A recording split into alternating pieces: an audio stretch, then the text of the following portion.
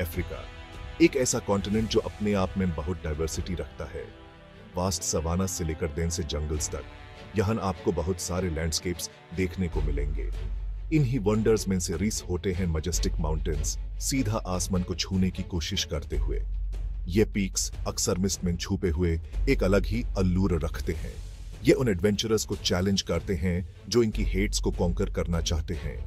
Africa की mountains सिर्फ़ geological Marvels नहीं हैं। सदियों से ये ऑय और रेवरेंस को इंस्पायर करते आए हैं। चलिए मेरे साथ as we journey through Africa's magnificent peaks उनकी ब्यूटी और सिग्निफिकेंस को एक्सप्लोर करते हैं। मंजारो, ये नाम एडवेंचर का सिनोनिम है। तंजानिया के प्लेन से ऊपर तौल खड़े हुए, ये देखने लायक साइट है। द रूफ ऑफ़ अफ्रीका जैसा कि इसे कहा जाता है, दुनिया के हर कोने से क्लाइंबर्स को बेकन करता है। इसका snow capped peak azure sky के सामने एक बीकन की तरह। एक अनफर्गेटेबल एक्सपीरियंस का प्रॉमिस करता है। यह क्लाइंब आर्डुअस है एंड्योरेंस का एक सच्चा test climbers diverse climatic zone से ट्रैवल करते हैं।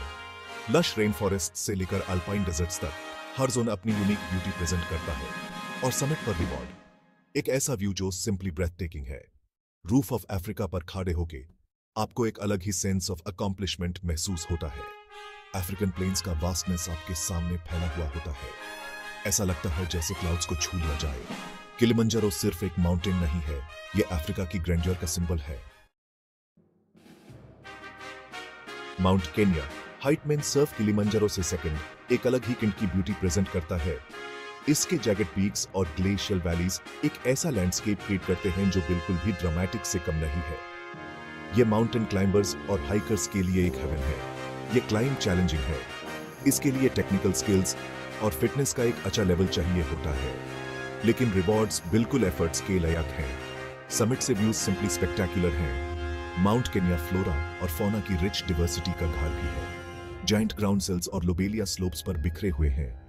उनकी स्ट्रेंज ब्यूटी इस लैंडस्केप के अदर वर्ल्डली फील में और भी इजाफा करती है। यह माउंटेन के क्यू पीपल के लिए सेक्रेड माना जाता है, जिनका माना है कि उनका गॉड गए माउंटेन की हाईएस्ट पीक पर रहा करता था। ये cultural significance Mount Kenya visit करने की एक्सपीरियंस में एक और लेयर एड करता है। नॉर्थ की तरफ़ जर्नी करें और एप इनकाउंटर करेंगे एटलस माउंटेन्स को, एक वास्ट माउंटेन रेंज जो मोरक्को अल्जीरिया और ट्यूनिसिया तक स्प्रेड है। ये माउंटेन्स ईस्ट अफ्रीका की सवानास और जंगल से बिल्कुल अलग हैं। यहाँ लैंडस्केप रगेड और अनफॉरगिविंग है। टावरिंग पीक्स एरिड प्लेन्स से राइज होते हैं। उनकी स्लोप्स साडियोन की विंड और रेन से एचट हैं। एटलस माउंटेन्स बर्बर्स का घर हैं। नोमैटिक लॉग जो सदियों से इन माउंटेन्स को ट्रेवर्स करते आए हैं। उनकी कल्चर उतनी ही रिच और डाइवर्स है जितना कि ये लैंडस्केप खुद। उनके विलेजेस, वैलीज में नेस्टलेड और माउंटेन साइड से चिपक के बने हुए। एक ऐसी वे ऑफ़ लाइफ की ग्लिम्स ऑफ़र करते हैं जो जनरेशन से ज़्यादातर अनचेंज्ड है। सीडर फॉरेस्ट में ट्रैकिंग से लेकर एंशियंट रूइंस एक्सप्लोर करने तक यहाँ हर किसी के लिए कुछ न कुछ है। अटलस माउंटेन्स एक रिमाइंडर है कि अफ्रीका की ब्यूटी सिर्फ़ उसके वाइल्ड लाइफ और सवानास तक ही लिमिटेड नहीं है। The Drakensberg, a dragon's back southward हम वेंचर करते हैं ड्रेकन्सबर्ग की तरफ़, एक फॉर्मिडेबल माउंटेन रेंज जो साउथ अफ्रीका और लेसोथो तक स्प्रेड है।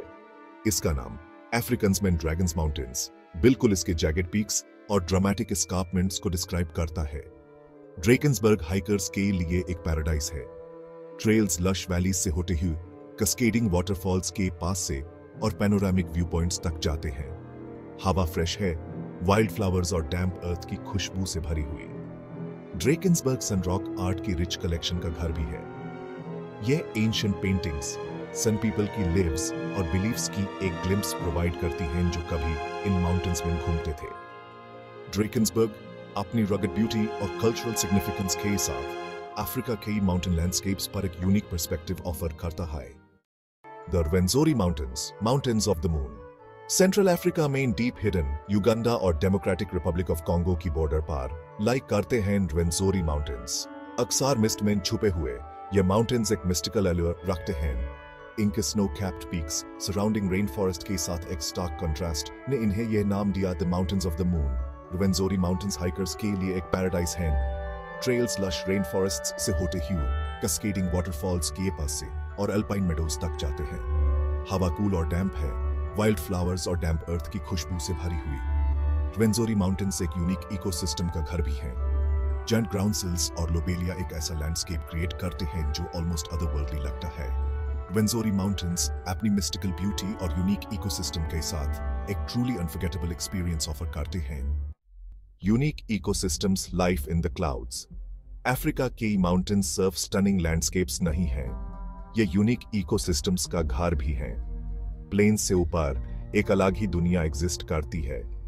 यूनिक प्लांट्स और एनिमल्स की दुनिया, जो क्लाउड्स में लाइफ के लिए अडेप्ट हो चुके हैं। लोअर स्लोप्स अक्सर लश रेन फॉरेस्ट से ढके होते हैं लाइफ से भरे हुए।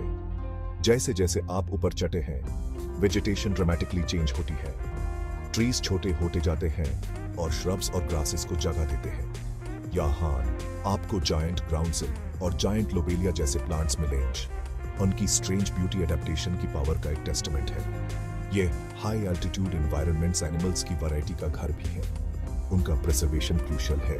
सिर्फ़ अन यूनिक स्पीसीज के लिए नहीं, जिनको ये सपोर्ट करते हैं। बल्कि प्योर प्लेनेट की हेल्थ के लिए भी। Cultural significance sacred peaks and ancient beliefs Africa के ये माउंटेन्स सिर्फ़ जियोलॉजिकल फॉर्मेशंस नहीं है। ये कॉन्टिनेंट के ये कल्चरल फैब्रिक से डीपली इंटरट्वाइंड है। सदियों से इन्हें सेक्रेट प्लेसेस की तारा रिवियर किया जाता रहा है। उनकी पीक्स को गॉड्स और स्पिरिट्स का अबोर्ड माना जाता है। ईस्ट अफ्रीका के मसाई पीपल का मना है कि गॉड माउंट किलिमंजारो पर रेसिडे करते हैं। इसी तरह किकुयू पीपल का मना है कि उनका गॉड गए माउंट केनिया की हाईएस्ट पीक पर रहा करता था। उनकी ट्रेडिशंस और स्टोरीज में अक्सर माउंटेन फीचर होता है, जो इसकी कल्चरल सिग्निफिकेंस को हाईलाइट करता है। ये बिलीफ्स जनरेशन से पास होते आए हैं। अफ्रीका के लोगों और उनके नेचुरल एनवायरनमेंट के बीच डीप कनेक्शन को हाईलाइट करते हैं। ये एक रिमाइंडर का काम करते हैं कि ये माउंटेन सिर्फ़ फ़िज़िकल एंटिटीज से कहीं ज़्यादा है। Climbing adventures a test of human spirit कई लोगों के लिए अफ्रीका के माउंटेन्स अल्टीमेट एडवेंचर रिप्रेजेंट करते हैं। समिट तक क्लाइंब करने का चैलेंज अपनी लिमिट्स को टेस्ट करने का एक पावरफुल ड्रॉ है। Thin air steep slopes unpredictable weather ये सब फैक्टर्स मिलके एक ऐसा एक्सपीरियंस क्रिएट करते हैं जो चैलेंजिंग और एक्सिलरेटिंग दोनों है। चाहे वो किलिमंजारो के आइकॉनिक स्लोप्स होन माउंट केनिया के टेक्निकल चैलेंजेस होन या फिर एटलस माउंटेन्स की रगड ब्यूटी हो, हर क्लाइम रिवॉर्ड्स का एक यूनिक सेट ऑफ़र करता है। समिट तक पहुँचने पर अकॉम्प्लिशमेंट का जो सेंस मिलता है वो इनडिस्क्राइबेबल है। टॉप से व्यूज़ हर तरफ़ माइल्स तक स्प्रेड सिंपली ब्रेथ टेकिंग है। लेकिन ये सिर्फ़ फ़िज़िकल चैलेंज की बात नहीं है। इन माउंटेन्स को क्लाइंब करना सेल्फ डिस्कवरी का भी एक जर्नी है।